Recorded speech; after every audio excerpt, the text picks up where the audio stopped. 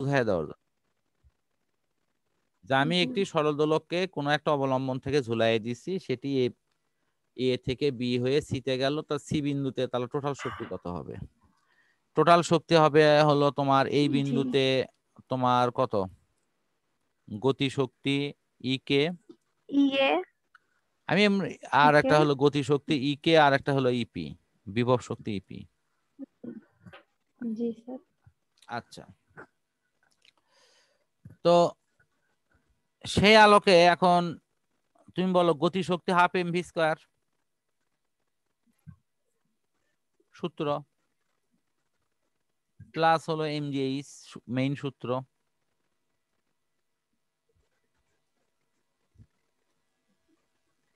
M G H ঠিক আছে তো? এখানে তুমি বলো ভি ইজিক্যাল টু কি শূন্য না? কারণ সর্ব, ওই উচ্চতায় কি সি বিন্দুতে যাওয়ার পরে কি ওর কোনো বেগ আছে?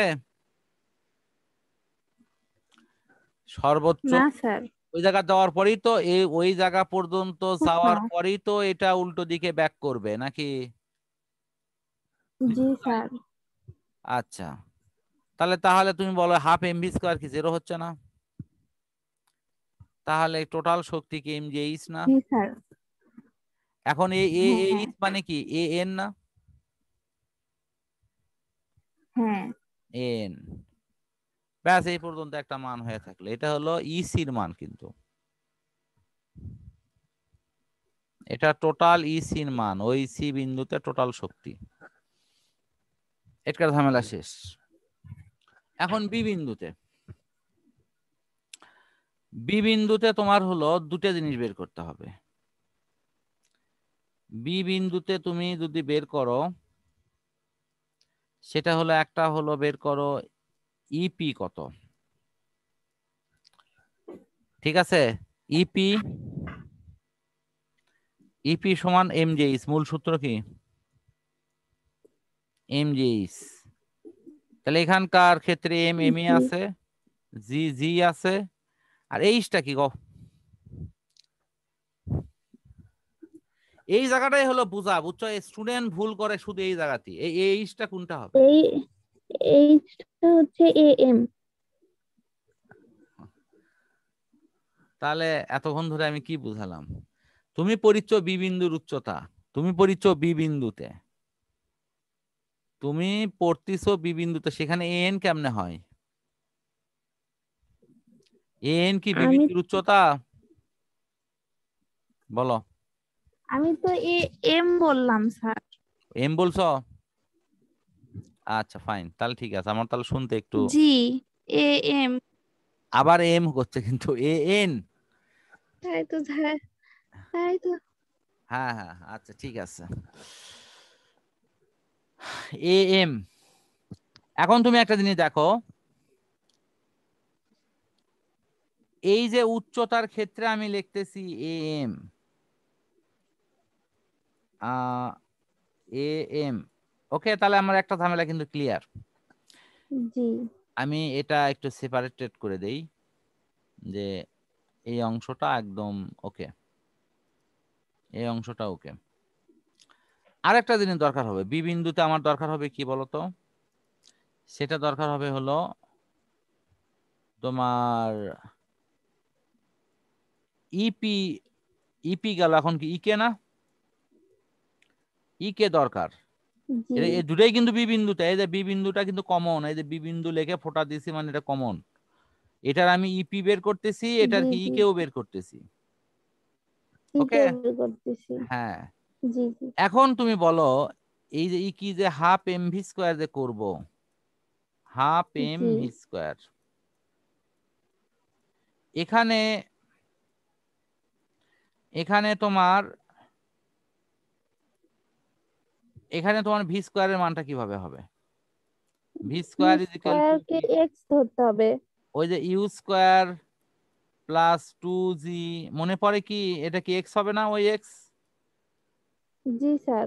ওই এক্সটা কোনটা? ওই এক্সটা কোনটা? এ এম হবে না এন এম হবে না এন হবে? এ এম ম এ এম এর উচ্চতা এক্স ধরে ওটার এটা হবে টু জি এক্স না সেই এক্সটা কোনটা? এই এক্স সমান কোনটা হবে এখানে? এখানে তিনটে জিনিস আছে আমি বলি আমি আমি বলি আগে।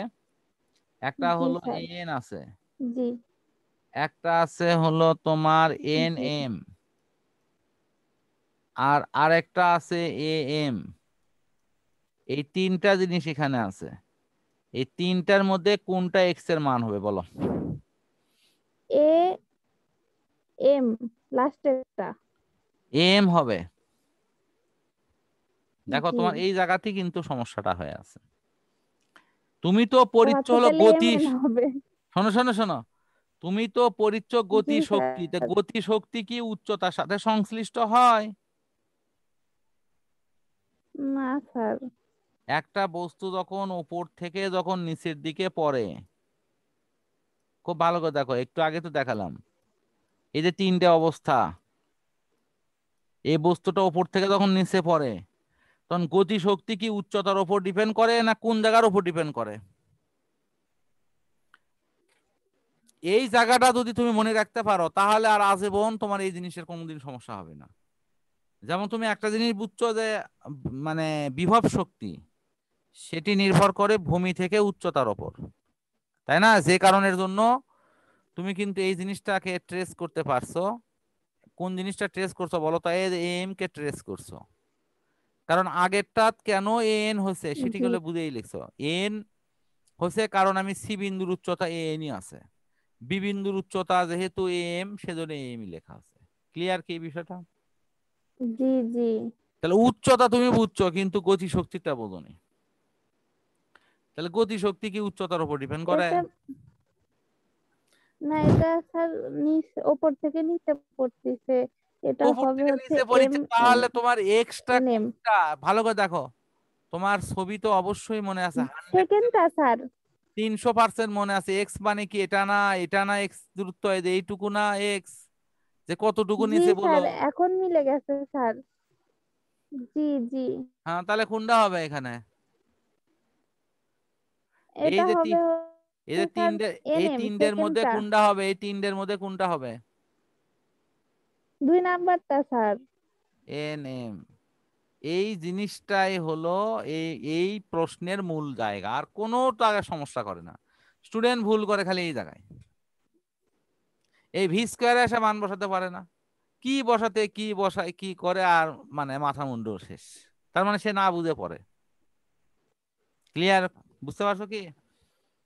তাহলে এখানে আমাকে ভি এই যে এক্স মানে হলো কি এক্স মানে কি এন এম? N M. এখন তুমি একটা জিনিস খেয়াল করো যে তুমি যে ইতোপূর্বে মান বের করছ এখানে বার করছ এন এখানে বার করছ এম এন এম এর সম্পর্ক তাহলে এই দুটোর সাথে তৈরি করতে হবে। যদি তুমি তৈরি করতে পারো তাহলে তোমার কাজ হচ্ছে। আর কিচ্ছু করা লাগবে না। ইউ সমান এখানে জিরো ইউ সমান কি? জিরো তাহলে V square is equal to কি হলো কত? টু জি ইন্টু হলো এন এম ক্লিয়ার আর তারপরে তুমি লিখবে কি? এন এম সমান এন এম সমান এন এম সমান কি লিখব? কারণ হলো আমার সম্পর্কটা কি এন এম এ রাখলে চলবে? কারণ আমি ক্যালকুলেশন করব এন আর হলো এম এর মধ্যে। তা কাজে আমি তখন তখন আমি কি করব? হ্যাঁ এই তো গুড তখন আমি লিখব হলো এ এন বিয়োগ হলো এ এম আমাকে অঙ্কই বলবে কি করতে হবে। ঠিক আছে? আমি অত মুখস্থ করতে যাব কেন? মুখস্থ করলে তো তুমি মানে এগোতে পারবে না তো। দেখো আমি কেন এই বিয়োগ করে লিখলাম? আশা করি কারণ সহ বুঝতে পারছ। এত বিয়োগ হলো এম। এখন তুমি অঙ্ক করো এখন এমনি মিলে যাবে। ঠিক আছে? তাহলে এখন তুমি এটি লেখো এখানে। Half M into two G into হলো আগে এন এমই লেখো তারপর আগে ওখানে ঝামেলা আগে কমুক আগে। এই টু এই টু কি হলো? কেটে গেল। কেটে যাওয়ার পরে এখন তুমি এম জি ওই এ ওই যে এখানে যে এন এম লিখছো এই এন এম এর পরিবর্তে এখন এটা লেখো এই মান। বুঝো নে? ওই বিয়োগটা করে লিখবা। অর্থাৎ এ এন এ এন বিয়োগ হলো কত? এম। ক্লিয়ার কি এখন? জি। আচ্ছা। এখন আমার মূল কাজ হয়ে গেছে। এখন আমি খালি একটু ক্যালকুলেশন করে দেখাবো যে এটি এমজিএইচ আছে কিনা। এখন দেখা যাক। তাহলে টোটাল শক্তি কি না? অতএব সি বিন্দু ওই বি বিন্দুতেই কিন্তু বি বি বিন্দুতে এখন কি শক্তি? মোট শক্তি।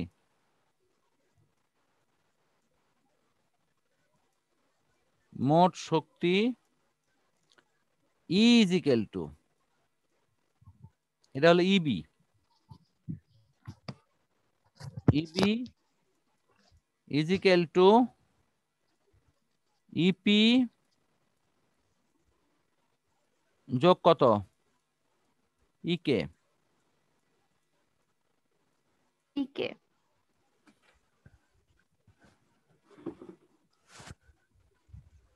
তাহলে একটু মানগুলো বসায় দেয়।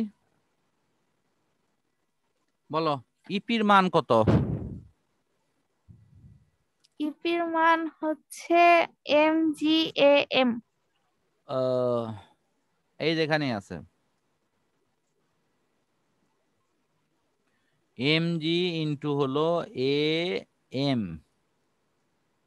এম প্লাস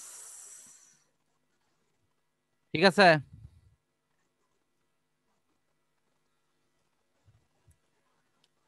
আর এটার মান কত? এম জি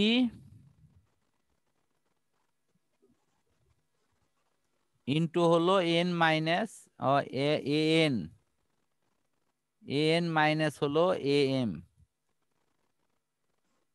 এই তো। এখন আমি হলো এখানে বিয়োগটা করব। এখন আমার একটু বিয়োগটা করে দেখাতে হবে যে এখানে মানটা কত আসে। M G